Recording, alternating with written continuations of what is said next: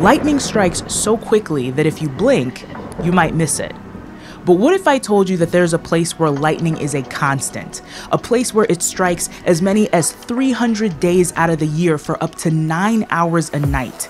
A place where lightning is so concentrated that you can literally read a newspaper at night from its brightness. I'm talking about Lake Maracaibo in Venezuela. It's the largest lake in South America, and it was declared by NASA to be the lightning capital of the world. Lake Maracaibo is a Caribbean sea bay that's bordered by the Andes Mountains on three sides and fed by the Catatumbo River. Where the Catatumbo River meets Lake Maracaibo is the hotspot for what's been dubbed Catatumbo lightning. It typically starts at about an hour after dusk, lighting up the mouth of the river and turning it into what locals have called a river of fire or a never ending storm. Catatumbo lightning is so frequent and bright that 19th century navigators used the area as a lighthouse to help them find their way along the Caribbean coast. Legend has it that Sir Francis Drake's attack on Maracaibo was thwarted because the lightning kept exposing his ships like a giant strobe light. Can you imagine bringing someone home for the holidays and you have to prep them like, hey, just so you know, the town I grew up in has this thing called a river of fire? and um, I just wanted you to be prepared in case you noticed a never ending lightning storm. It's kind of our thing, it's traditional, it's been around for 500 years.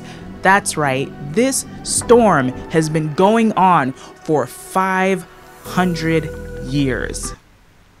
500 years. But how do you measure lightning? And how much is a lot? Meteorologists have been measuring lightning at surface weather stations and with flash counters since the early 1920s. But it wasn't until we actually started using satellites that we could compare the world's lightning hotspots to other huge climate factors. So in 1997, an instrument called the Lightning Imaging System was launched aboard a satellite as part of NASA's Tropical Rainfall Measuring Mission. This satellite collected data until 2015, and it revealed that with an average flash rate density of 232.52 flashes per year per square kilometer, that Catatumbo lightning is in fact the highest density lightning anywhere in the world. For comparison, Florida, which is surprisingly the lightning capital of the United States, clocked in at 79 flashes per year per square kilometer.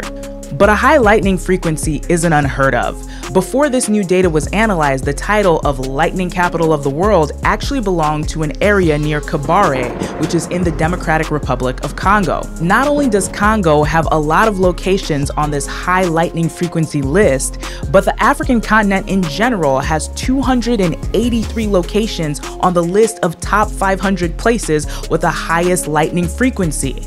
So, what makes lightning more likely to strike in these locations at such a high frequency? To understand that, you need to understand how lightning's made. Scientists believe that lightning's formed when warm, moist air that's close to the ground rises upwards to meet the colder air above. The higher this moist air rises, the taller the thunderstorm cloud it creates, and this sets the scene for an amazing set of reactions. The warm, moist air rises into the cold atmosphere and starts to freeze. Some of it freezes into light ice particles, and others freeze into heavier hail.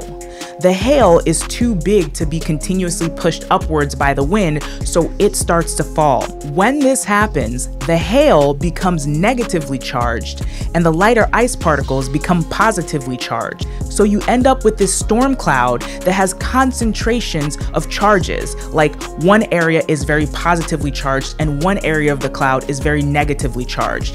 Whenever you have charges that are concentrated but polarized in this way, they want to stabilize. So a network of conductive channels starts to form. Those are the thin white veins that you might see spreading out across the sky. Some of them fizzle out, but the ones that connect to an area of opposite charge create lightning. These connections can happen within clouds, or they can happen when one of these trails ends up connecting with a positively charged particle on the ground. Now, there are lightning storms all over the world, But what is it about Lake Maracaibo that creates such a perfectly predictable lightning storm for nine hours a night, 300 days out of the year? To figure this out, an international team of climate researchers led by Angel Munoz sent weather balloons over Lake Maracaibo in 2015. They attached microsensors to the balloons and released them at various heights to measure temperature, humidity, and pressure. What they found was that the geography of Lake Maracaibo, being flanked in a horseshoe shape on three sides by the Andes Mountains, creates the perfect conditions for a storm. During the hot hours of the day, the sun's radiation heats up the land land around the lake and generates a breeze coming from the Caribbean Sea. This breeze carries moisture from the sea, picks up water from the lake, and heads towards the Andes Mountains. Because the lake is surrounded by the mountains on three sides, when this wind hits the mountains, it has nowhere else to go but up and so it shoots upward and forms a storm cloud. But at dusk, things change. So air over land cools a lot faster than air over water. So this breeze actually reverses direction about an hour after sunset. Cool air heads down the mountain and meets the warm air that's rising from the lake. Inside these tall clouds, the ice crystals start to collide with hail and you begin to get these areas of concentrated opposite charges. And when they attempt to stabilize by moving towards each other, you get lightning. Catatumbo lightning is special because this process is fueled by the year round supply of moist air that is evaporated from the lake during the day because of the hot tropical sun. The satellite from NASA's mission actually showed that the air high above Lake Maracaibo and the Catatumbo River is full of scattering ice.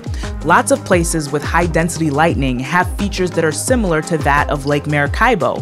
They usually have a complex landscape, are mountainous, are usually tropical, and usually feel the effects of things like extratropical cyclones.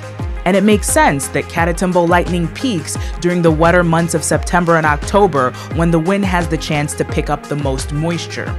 But outside of looking super cool, are there any perks to living in a place that has a constant lightning storm? I mean, can we harness any of this free energy to do things like, I don't know, power people's homes?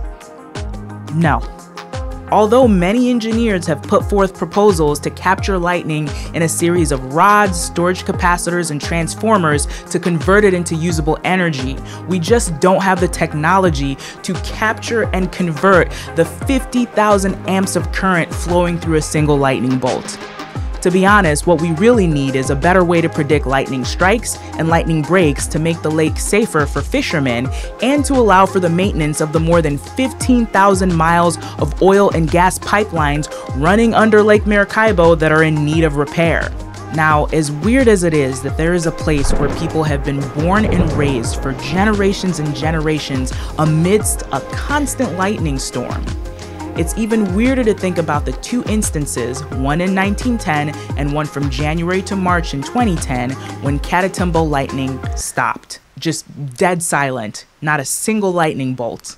Naturally, scientists wanted to know what was going on, and what they realized was that prolonged drought conditions caused by El Nino muted the lightning. As weather patterns get more extreme, we could see cycles of things like El Nino and La Nina go from once every 20 years to once every 10 years, which means that Catatumbo lightning might be a little more varied in the future. But for now, it rages on as the absolutely shocking 500 year old, high density, never ending storm.